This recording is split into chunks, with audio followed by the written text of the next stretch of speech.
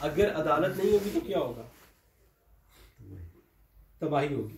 اس تباہی یا عدالت نہ ہونے کی نشانیاں کچھ، وہ میں ابھی بیان کروں گا۔ مولا علیہ السلام نے جو بیان کی۔ اور عدالت کی مخالف چیز کیا ہے؟ ظلم ہے۔ اور امام نے کس کا خاتمہ کرنا ہے آ کے ظلم کا خاتمہ کرنا ہے۔ میں ایک چھوٹا سا فرمان ہے مولا علیہ السلام کا، جو انہوں نے مالک اشتر کے نام فرمایا۔ وہ بیان کر کے چند نشانیاں بیان کروں گا۔ چند کہ جو جس سے ہم اندازہ لگائیں کہ آیا ہمارے اس معاشرے میں جہاں پہ ہم رہ رہے ہیں، آیا یہ عدالت کے تحت معاشرہ ہے یا ظالم معاشرہ ہے؟ اور اگر ظالم معاشرہ ہے تو ہم سب نے کیا کہا بھی ہم نے کیا کرنا ہے امام کے لیے؟ تیاری کرنی ہے۔ امام نے آ کے کیا کرنا ہے؟ ظلم کو ختم کرنا ہے۔ اگر ہمارے معاشرے میں ظلم پایا جاتا ہے اور ہم خود اس ظلم میں شریک ہیں، ہمیں پتہ نہیں ہم ٹرین میں بیٹھے ہیں۔ کچھ ایسے کام ہم کر رہے ہیں جس کی وجہ سے ہم ظلم میں شریک ہیں۔ تو امام زمانہ جب آئیں گے تو ہم امام زمانہ کی مخالف کھڑے ہوں گے امام زمانہ کے حق میں کھڑے نہیں ہوں گے۔ بر محمد علی محمد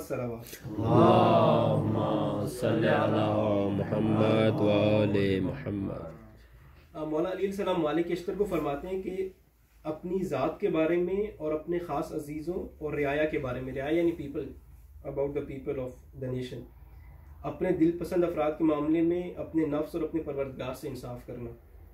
کیونکہ اگر تم نے ایسا نہ کیا تو ظالم ٹھہرو گے اور جو خدا کے بندوں پر ظلم کرتا ہے تو بندوں کی بجائے اللہ اس کا حریف و دشمن بن جاتا ہے۔ اگر کوئی بھی انسان خدا کے بندوں پہ ظلم کرے گا تو اس کا دشمن وہ بندہ نہیں کون ہوگا؟ خدا۔ خدا بند عالم اور خدا بند عالم جس کا دشمن ہو اس کی ہر دلیل کو کچل ڈالتا ہے۔ ایسا شخص اللہ سے برسر پیکار شمار کیا جاتا ہے۔ جب تک اپنے ظلم سے باز نہ آئے اور توبہ نہ کرے اور اللہ کی نعمتوں کی بربادی اور اس کے عذاب میں اجلت کا کوئی سبب اس پر ظلم کوئی سبب ظلم پر قائم رہنے سے بڑا نہیں ہے۔ تو جب تک وہ ظلم پر قائم رہے گا، اس کی دشمنی کس سے ہے؟ اللہ تعالیٰ سے ہے۔ اور اللہ تعالیٰ سے جو دشمنی اختیار کرے تو وہ قادر مختلف ذات ہے۔ عدالت نہیں ہے تو معاشرے میں ظلم ہوگا۔ ظلم چند صورتوں میں آپ کو نظر آئے گا۔ اب ایک نشانی ہے، چند سمٹمز آپ کو بیان کرتا ہوں، باقی پھر آپ خود اپنی سوسائٹی میں دیکھیں کہ آیا وہ ہے کہ نہیں ہے۔ اگر ہے تو یہاں پہ ظلم ہے۔ اس کے لیے ہم کیا کر رہے ہیں؟ ایک چیز ہے فقر و محرومی پاورٹی آپ کو غربت نظر آئے گی۔ لوگ بھوک سے مرتے ہوئے نظر آئیں گے اور لوگ بہت، کچھ لوگ بہت امیر نظر آئیں گے، کچھ لوگ بہت، لیکن غربت آپ کو نظر آئے گی۔ کیوں؟ اب آیا خداوند عالم نے رزق نہیں مقرر کیا۔ خود خداوند عالم فرماتا ہے کہ زمین پر حرکت کرنے والی ہر مخلوق، کوئی ایسی مخلوق نہیں جس کا رزق خداوند عالم نے مقرر نہ کیا ہو۔ اگر رزق مقرر ہے، تب بھی چند لوگ فقیر ہیں اور بھوک سے مر رہے ہیں۔ تو کہاں خرابی ہے کیا ہے؟ مثال کے طور پہ، رزق مہیا رزق بہت سارا ہے، لیکن چند لوگ ہیں، وہ بہت قابل ہیں۔ مثلا آپ میں سے چند دوستان بہت قابل ہیں، بہت سکلفل ہیں، اور چند دوست اتنے قابل نہیں ہیں، یا کوئی انسان ایک معذور ہے۔ اب وہ اس رسک کو حاصل نہیں کر سکتا۔ اس میں اتنی ایفرٹ نہیں ہے، اتنی مینٹل کیپیسٹی نہیں ہے مثال کے طور پہ آپ میں ہے۔ آپ نے زیادہ حاصل کر لیا۔ اب آیا، اس کو بھوک سے مر جانا چاہیے۔ آپ نے تو مثلا ہر ایک کوشش کرتا کہ میں بلینئر ملینئر بن جاؤں۔ ہماری تمام لوگوں کی کوشش یہی ہے۔ یہاں پہ خود ارشاد الہی ہے کہ مانگنے والوں کے اموال میں نہ مانگنے والے محروم افراد کا حصہ ہے۔ اور جو شخص ایک اور جگہ پہ فرماتے ہیں کہ ایک اور جگہ پہ کہ جو اموال تمہارے پاس جمع ہو جائیں، ان پر نظر رکھو اور تمہارے یہاں جو عیال بھوکے اور ننگے، ان پر خرچ کرو۔ یعنی جو بھی رزق ہم کماتے ہیں، اس میں کس کا حصہ ہے؟ اس میں غریب اور محروم لوگوں کا حصہ ہے، جو ضرورت مند ہیں، چاہے وہ ہم سے مانگیں یا نہ مانگے اچھا آیا ہم یہ خیال کرتے ہیں، تصور کرتے ہیں، جب ہم کماتے ہیں، تو ہمارے ذہن میں یہ ہے کہ اگر میں نے اپنی ضرورت سے زیادہ جمع کر لیا اور عموماً اکثر ایسی صورتحال پیش آتی ہے کہ بس ہمارے پاس پیسے اتنے ہوتے ہیں کہ ہماری ضروریات پوری ہو رہی ہیں تمام چیز ہو رہی ہے اب اس کے علاوہ پیسے موجود تو ہم کیا کرتے ہیں؟ کوئی پارٹی کر لیتے ہیں کوئی نیا برانڈ آیا تو مثلا آئی فون یا سیمسنگ کا نیا ماڈل لانچ ہوتا ہے وہ خرید لیتے ہیں۔ ضرورت میں سے نہیں ہے۔ آپ کا اچھا موبائل ہونا چاہیے اس کا انکار نہیں ہے۔ لیکن اس ایکسٹرا پیسے کو بھی آپ نے کہاں استعمال کیا؟ اپنی ذات کے اوپر۔ تو آپ کیا کر رہے ہیں؟ آپ ظلم میں شریک ہو رہے ہیں۔ ایک نقطہ۔ دوسری چیز کیا ہوگی؟ طبقاتی difference like there will be difference in the society so you will see some people they are very rich and some people they are very poor extremely poor یہ ڈفرینسیشن ہو جائے گی کہ کچھ لوگ بھوک سے مر رہے ہیں، کچھ لوگ بہت غریب ہیں، کچھ لوگ بہت امیر ہیں۔ اس سوسائٹی میں، پاکستان میں، یہ دنیا میں دیکھیں۔ دنیا میں آپ دیکھیں تو دنیا میں خدا مجھے نے پوری دنیا کے لیے رزق مہیا کی ہے۔ لیکن چند امیر ملک اور چند امیر ملک جو پاورفل بھی ہیں۔ ایک طبقہ یورپ ہے مثال کے طور پہ، اور چند اور ممالک ہیں۔ اگر آپ وہاں کے لوگوں کی زندگی کا موازنہ پاکستان کے لوگوں کی زندگی سے کریں، یا کچھ اور معاشرے کے لوگوں کی زندگی سے کریں، تو اس میں بہت زیادہ فرق آپ کو نظر آئے گا۔ آیا ان لوگوں کو مکمل اختیار حاصل ہے کہ وہ طاقت کے زور پہ تمام دنیا کی نعمتوں سے استفادہ کریں؟ مثال کے طور پہ افریقہ کے ممالک میں سے آپ موبائل سے استعمال کرتے ہیں، اچھے برانڈ کے سارا کچھ۔ تو یہ تمام نعمتیں اور یہ تمام منرلس کہاں سے نکلتے ہیں؟ افریقن ممالک میں سے عموماً نکلتے ہیں۔ سب سے زیادہ استفادہ کون کر رہے ہیں؟ یورپ کے چند ممالک کر رہے ہیں اور انہوں نے طاقت کے زور سے دوسروں کو روکا ہوا بھی ہے۔ یہ دوسری نشانی ہے کہ سوسائٹی میں برابری نہیں ہوگی۔ چند لوگ بہت طاقتور ہوں گے بہت امیر ہوں گے چند لوگ بہت زیادہ غریب ہوں گے۔ اب یہ آپ لوگوں نے خود دیکھنا ہے۔ اپنے معاشرے میں بھی دیکھنا ہے اپنے خاندان میں بھی دیکھنا ہے اپنے گھر میں بھی دیکھنا ہے کہ آیا یہ تقسیم پائی جاتی ہے نہیں پائی جاتی؟ پائی جاتی ہے تو آپ عدالت میں نہیں ہے، بلکہ ظلم میں ہے۔ اور اگر ظلم میں ہے تو ظلم کو ختم کرنا ہے۔ اس دعا میں آنے کا مقصد کیا ہے؟ کہ ظلم کو کم کیا جائے۔ اچھا اس کے علاوہ یہ ہوگا کہ ایک معاشرے میں امن نہیں ہوگا۔ جب ایسی صورتحال ہوگی کہ کوئی بھوک سے مر رہا ہے اور کسی کے پاس بہت زیادہ پیسہ ہے تو ڈسپلن نہیں ہوگا، امن نہیں ہوگا۔ کیوں؟ جو غریب لوگ ہوں گے وہ کیا؟ اگر ایک کا بچہ بھوک سے مر رہا ہے تو وہ کب تک برداشت کرے گا؟ کو کیا کرنا پڑے گا؟ کسی طریقے سے اگر اس کو موقع بھی نہیں ملتا، کیونکہ ظلم نظام میں موقع ہر ایک کو نہیں ملے گا برابر، یہ بھی ایک نشانی ہے۔ کیونکہ اگر آپ کے رشتہ دار حکومت میں ہیں، اگر آپ کے والد صاحب ایک بہت طاقتور بزنس مین ہے تو آپ کو تمام مواقع ملیں گے۔ ایک شخص آپ سے بہت زیادہ قابل بھی ہے، لیکن وہ آپ کا رشتہ دار نہیں اس کو موقع نہیں ملے گا۔ ایسی صورت میں غریب غربا لوگ کہاں جائیں گے؟ جرم کی طرف جائیں گے۔ چوری اور اس طرح کے گناہ عام ہوں گے، یا جسم فروشی اور اس طرف جائیں گے۔ تو یہ بے چینی ہمیشہ معاشرے میں رہے گی امیر کیا ہوگا؟ امیر جس کے پاس اتنی زیادہ دولت ہے جس نے لوگوں کا حق غصب کر کے رکھا ہوا ہے وہ بے چین رہے گا کہ کسی بھی وقت اس سے حق کوئی چھین سکتا ہے۔ جیسے آپ کے پاس کسی کے پیسے ہوں یا آپ نے کسی کے پیسے دینے ہوں ادھار تو آپ کی کوشش ہوتی ہے کہ اس سے سامنا نہ ہو میرا۔ اس کی کال نہ اٹھائیں۔ آپ کو پتہ لگے وہ کسی پروگرام میں آ رہا ہے تو آپ کوشش کرتے ہیں وہاں سے بھاگ جائیں کیونکہ آپ نے ظلم کیا۔ اچھا اب یہ آپ نے خود تصور کرنا اور خود دیکھنا ہے کہ آیا آپ کے اس میں مال میں خربا کا حصہ ہے اور اگر ہے تو آپ نہیں دے رہے یہ اب آپ نے خود دیکھنا ہے۔ کیونکہ خدا نے ایک جو ابھی سورہ شمس کی بھی تلاوت کی جس میں خدا عالم کیا فرماتا ہے کہ ایک جو فرق ہے نا کائنات میں اب زمین کے پاس اختیار نہیں ہے کہ زمین سورج کے قریب چلی جائے دور چلی جائے۔ خدا نے نظام اس طرح بنا کے اس پہ مسلط کر دیا لیکن انسان کو کیا کہا ہے؟ کہ فلحمہ فجورہ و تقواہ کہ اس کو رستے بتائے کہ دیکھو یہ رستہ کہاں جاتا ہے؟ یہ کامیابی کی طرف جاتا ہے یہ رستہ کہاں جاتا ہے؟ فسق و فجور کی طرف جاتا ہے۔ چوز کس نے کرنا ہے؟ ہم نے خود کرنا ہے۔ یہ فرق ہے کہ ہم نے عدالت کیا کرنی ہے؟ خود نافذ کرنی ہے اپنے وجود پہ نافذ کرنی ہے۔ امام زمانے نے عدالت کہاں نافذ کرنی ہے؟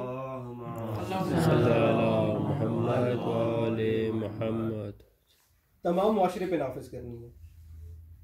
اور کربلا کیوں بپا ہوئی ایک دو پوائنٹس اور ہیں، میں ان سے صرف نظر کروں گا۔ ایک صرف بیان کر دیتا ہوں ٹائٹل میں کہ اس میں بعض لوگ قانون سے محفوظ نہیں ہیں۔ مطلب law is not for every one law is only for the poor people not for the strong people آپ دیکھتے ہیں کہ معاشرے میں جو بڑے ظالم ہیں سیاست دان ہیں یا حکمران طبقہ ہے، عموماً ان پہ قوانین اپلائی نہیں ہوتے، لیکن غریبوں پہ اپلائی ہوتے ہیں۔ اور ایک اور چیز آخر میں جو ہے، اس کے بعد یہ کہ اب ہمیں کرنا کیا ہے۔ آخری دو تین لفظوں میں اس کی سمری کہ ہمارا فریضہ کیا مت ہے؟ اتنی ساری گفتگو سن کے اب ہم نے کیا کرنا ہے؟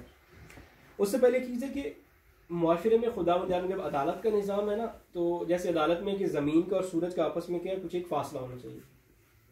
فاصلہ کم یا زیادہ ہوگا تو ظلم ہے۔ یا زمین جل جائے گی، تمام لوگ ہلاک ہو جائیں گے یا جم جائے گی۔ اسی طرح خدا بند عالم نے ہمارے آپس میں معاشرے میں جب ہم ایک دوسرے کے ساتھ رہتے ہیں تو چند حقوق مقرر رکھتے ہیں کہ آپ کے آپس میں کچھ حق ہیں۔ ایک مومن کا ایک مومن پہ کچھ حق ہے۔ یا میں نے بیان کیا، آپ خود جا کے دیکھیں۔ یہاں تمام دوستان مومنین جمع ہوتے ہیں تو مومن کے مومن کے بارے میں کچھ حق ہے۔ اگر اس کا حق پامال کر رہا ہے تو ظلم کر رہا ہے۔ پہلی چیز کیا آپ کو پتہ ہونا چاہیے کہ حق کیا ہے۔ آپ کے والدین کا آپ کے اوپر کچھ حق ہے۔ آپ کے بہن بھائیوں کا آپ کے اوپر کچھ حق ہے۔ معاشرے کا، اب معاشرے کا ایک اگر حکمران ہے، لیڈر ہے، اس کا عوام کے اوپر کچھ حق ہے۔ اگر حق ادا نہیں ہوگا تو کیا ہوگا؟ ظلم ہوگا۔ ظلم کا نتیجہ کیا ہوگا؟ کہ لوگوں کے حقوق پامال ہوں گے۔ جو ایک مومن کا حق ہے، مومن کے ساتھ وہ ادا نہیں کرے گا۔ اسی طریقے سے سب سے بڑا ظلم پھر جب یہ چھوٹے چھوٹے ظلم اکٹھے ہوتے ہیں، یہ ایک دو دن میں نہیں ہوتا۔ مثلاً دس سے گیارہ دن میں رسول خدا وفات پاتے ہیں، رسول خدا امام حسن امام سعید علیہ السلام کو اپنے قدموں پر سوار کراتے ہیں۔ یہ کس کا مقام تھا؟ امام حسن، امام سعید علیہ السلام کا مقام تھا۔ معاشرے میں کچھ حقوق آئمہ کے ہیں۔ امام کا ایک حق ہے ہم پر یہ جو ہم نے ادا کرنا ہے۔ لیکن یہ چھوٹے چھوٹے ظلم جمع ہوتے رہے۔ بنو میہ کی حکومتیں آئی اور جو شروع کے خلفاء نے کیا، اس میں تقسیم بندی ہوئی۔ تقسیم بندی کیا ہوئی؟ کہ جو لوگ مکہ میں تھے یا جو لوگ ان کے قریبی تھے، ان کو زیادہ بیت المال سے پیسہ دیا گیا اور جو باقی لوگ تھے، ان کو کم دیا گیا۔ اب جب یہ عرصہ چلتا رہا، آج سے مثلا اگر ہم تمام کو تمام کو برابر پیسے ملیں، لیکن آج اگر چند دوستوں کو دس روپے، دس یورو، سو یورو ایکسٹرا ملنا شروع ہو، آج سے دس سال بعد وہ کیا ہوں گے؟ اچھی خاصی رقم کے مالک ہوں گے۔ یہ سلسلہ شروع ہوا۔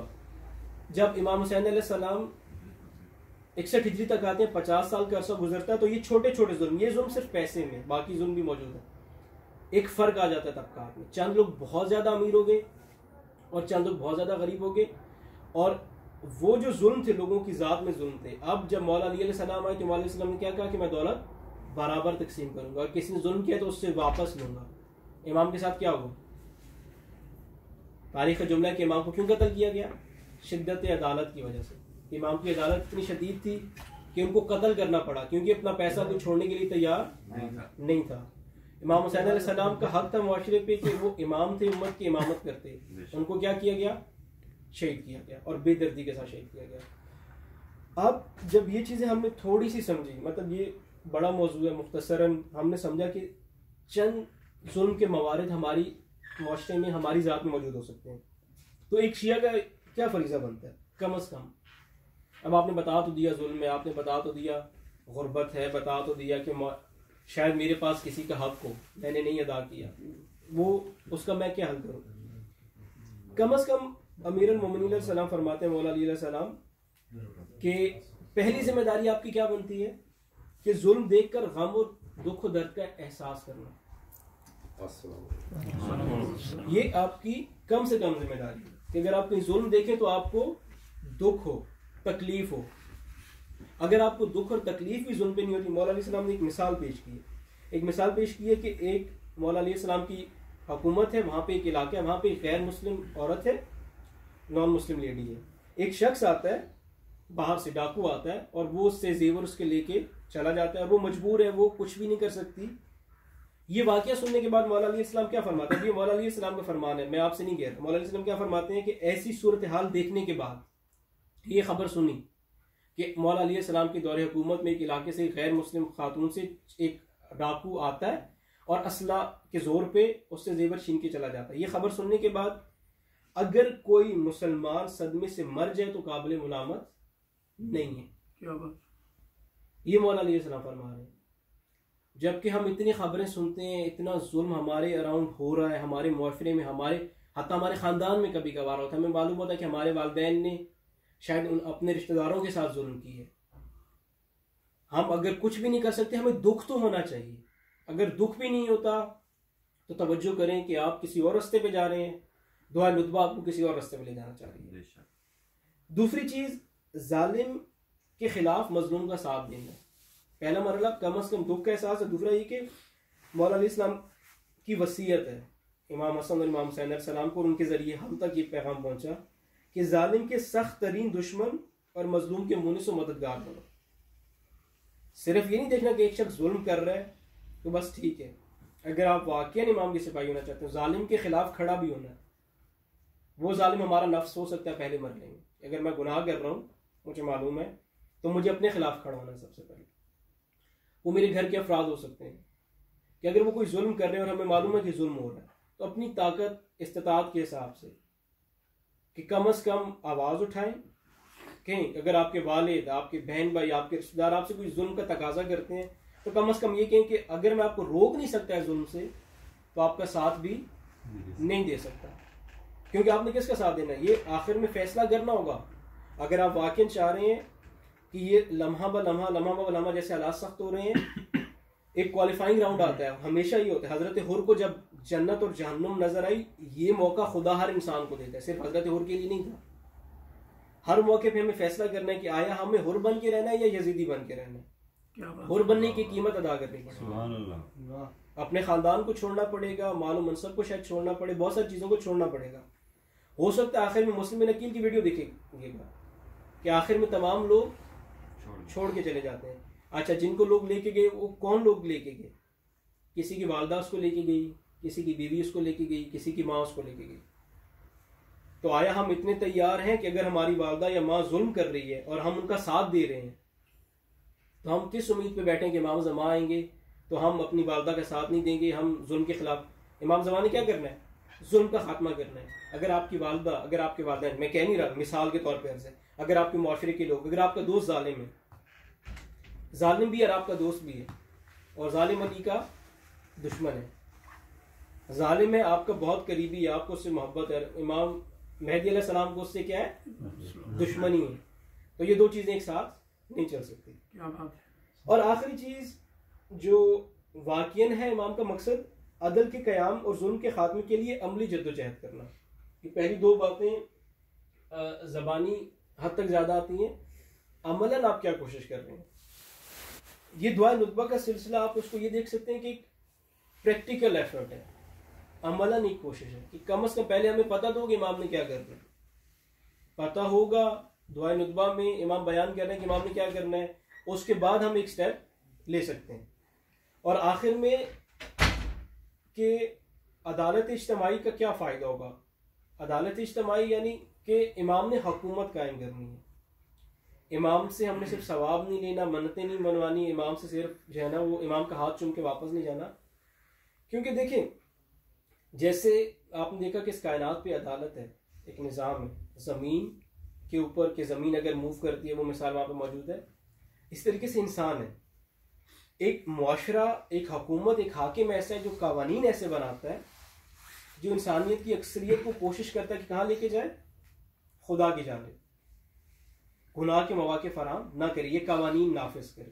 ان قوانین کے نافذ کرنے سے کیا ہوگا؟